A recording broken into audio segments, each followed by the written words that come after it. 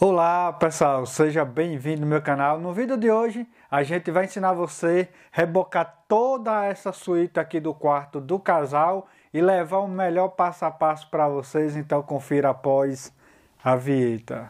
Você está visitando o canal Cacá Pedreiro, o Mr. M da construção, revelando segredos. Inscreva-se e compartilhe.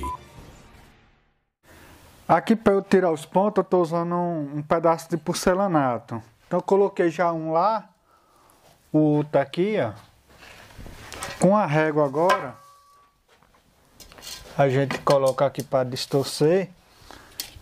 É, aqui eu vou deixar com 2 centímetros o meu reboco. Como é que eu faço? Ó, com a trena, eu venho aqui, ó. Só botar aqui, ó em dois certinho. Aqui a mesma coisa nós faz. Pronto. Agora a gente vem aqui, mede, para tirar outro ponto aqui pelo tamanho da régua.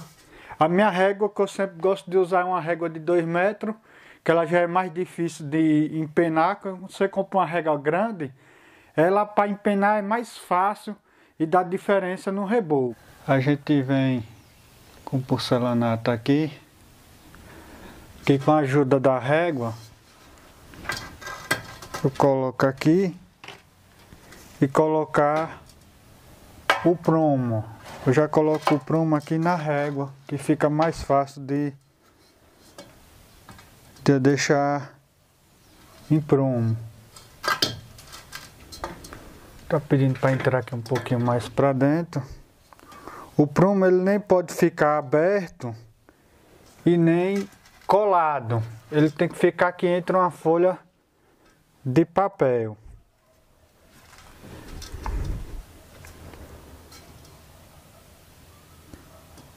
Então já está no prumo certo. Agora a gente vem aqui, distorce por ponto não ficar arrebitado. Porque no banheiro eu já deixo com 2 centímetros reboco, porque tem é, o revestimento.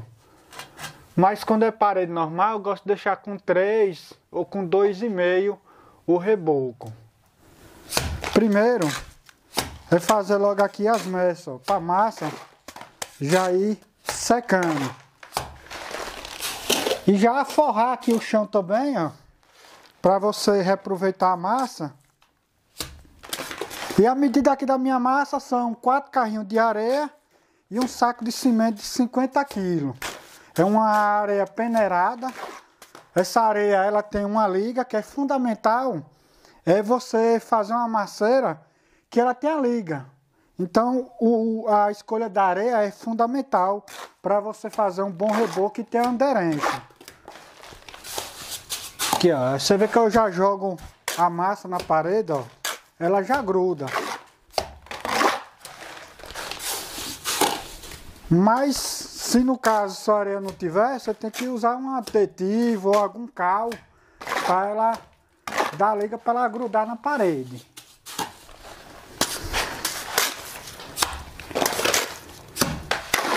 Muitos de vocês já me perguntaram, Cacá, qual é o ponto exato de sarrafiar. O ponto, pessoal, é quando você coloca aqui, ó, os dedos que não entram para dentro. Então o ponto é esse. Você também não pode deixar endurecer demais ou sarrafiar com ela mole, porque quando você sarrafia com ela mole, com certeza o seu reboco vai rachar.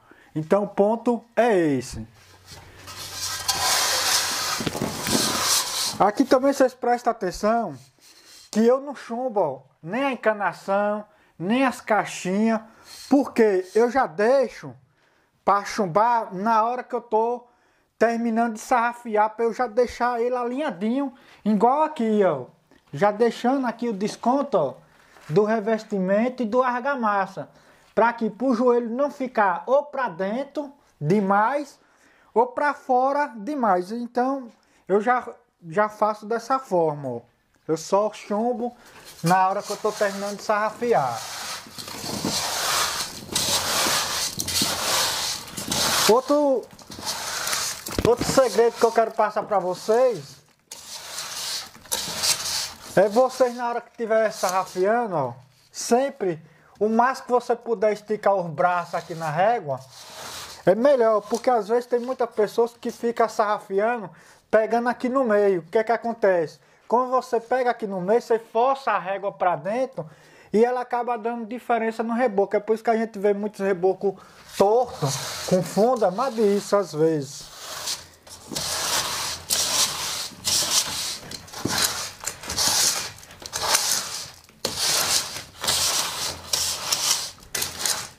Passar a régua pra ela cá pegando na mesa certinho, ó.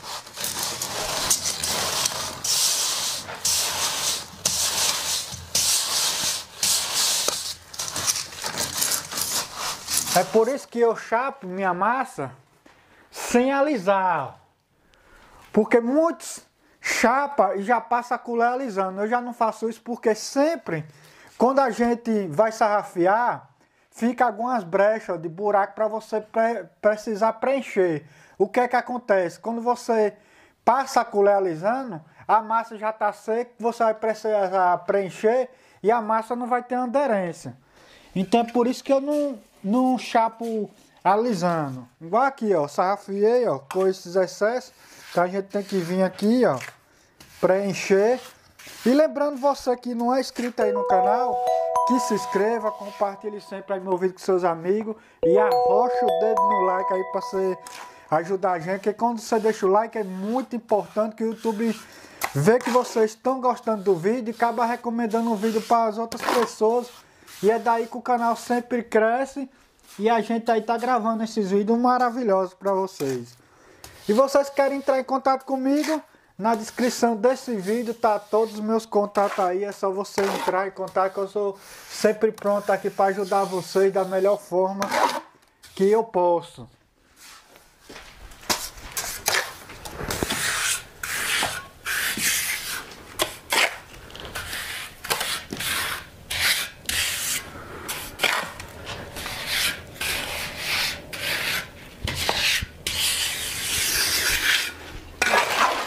Pronto, preencher, ó. Passou a régua de novo, ó.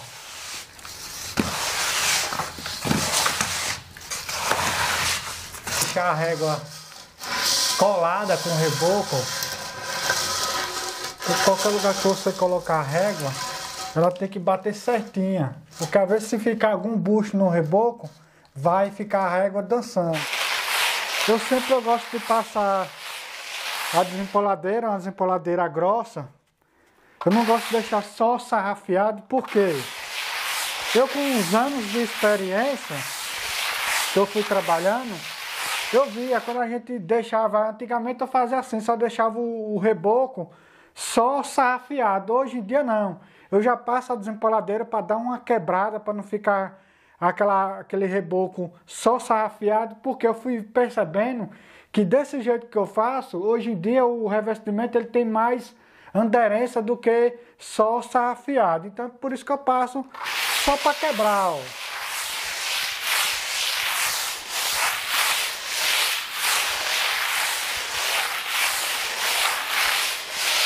Não passar as empoladeiras muito, ó, já ela fica grossona. Então por hoje é só. Eu espero que esse vídeo aí tenha ajudado vocês. Primeiramente quero agradecer meu bom Deus segundo o meu parceiro Rubinho, por ter me ajudado tanto fazer como gravar esse vídeo para vocês. E até o próximo vídeo, se Deus quiser. Esse vídeo foi patrocinado por Dry Leves, soluções para sua construção seca. Tudo em impermeabilização para sua obra. Este vídeo foi produzido pela produtora de vídeos Cacá Pedreiro.